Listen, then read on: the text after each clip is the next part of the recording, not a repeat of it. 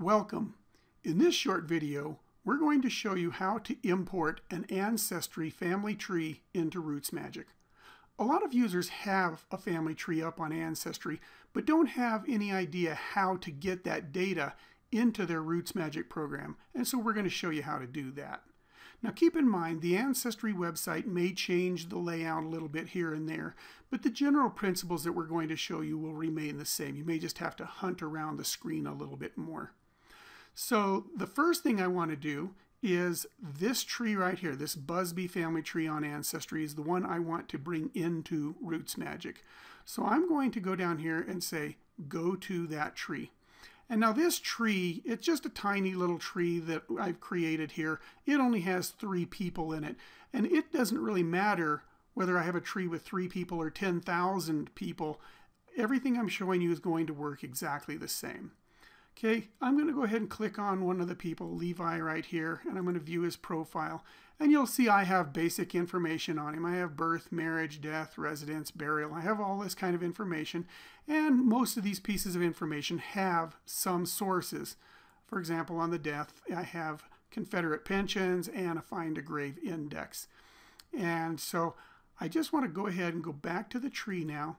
And when I'm on the tree page, you're going to see a little menu right here to the right of the of the tree name. And when I click on that, there's going to be an option called Tree Settings. And that's the one I want because that's where I'm going to be able to download this tree to a file that I can import into RootsMagic. So I'm going to go ahead and click on that and there's information like the tree name and whether it's a private or a public tree. And again, it doesn't really matter whether it's private or public.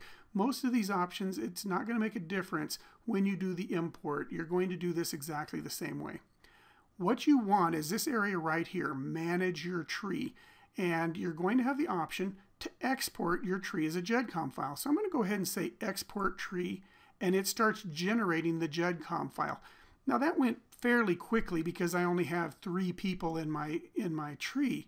Uh, if I had 10,000 names in the tree, that can take a while. So you just wait until it's finished, and once it's finished, the button will change to download your GEDCOM file.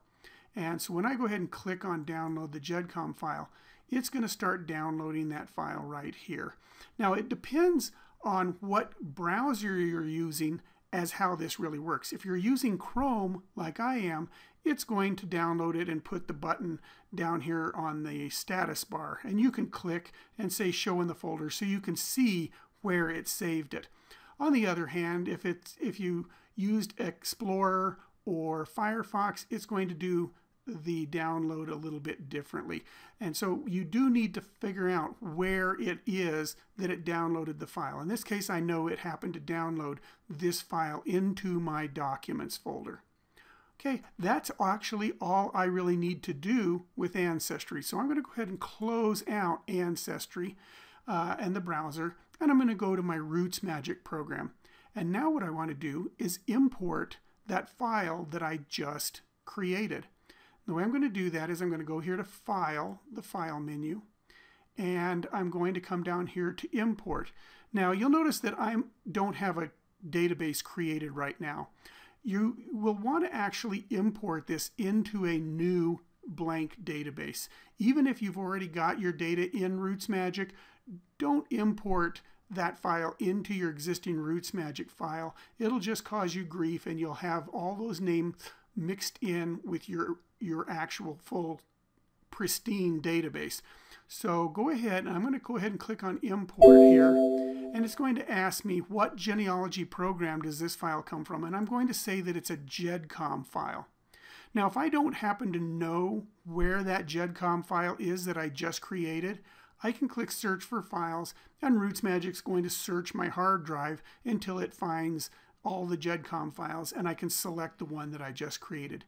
In this case, I do know that that file was in my documents folder and there it is right there and so I'm going to or in my downloads folder so I'm going to go ahead and highlight that and I'm going to click, click on open and RootsMagic's going to say okay we need to create a new file to put this in and I'm just going to call it from ancestry but you can call it whatever you want select whatever options you want click OK And then right here, I can just say, okay, I don't need to add that additional information. And there we go.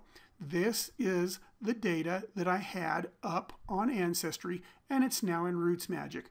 If I go and look at Levi Samuel Busby, just like I did before, all of that information came in. His name, his spouse, uh, there's his birth, marriage, death, residence, and burial information, along with the sources for each of those pieces of information. So for example, that death that we had two sources for, if I click on that, there they are, the Alabama, Texas, and Virginia Confederate pensions, and there's the footnote for that, and also the find a grave.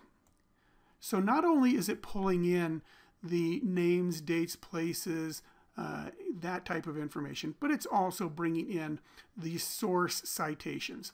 Now, it's not going to bring in the images.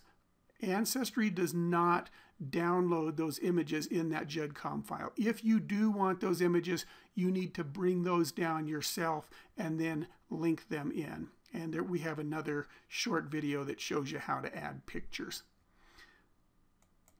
And so you'll notice right here, though, we have a little problem uh, indicators for these people. If I go click on the little problem indicator, you're going to see it says residence after death.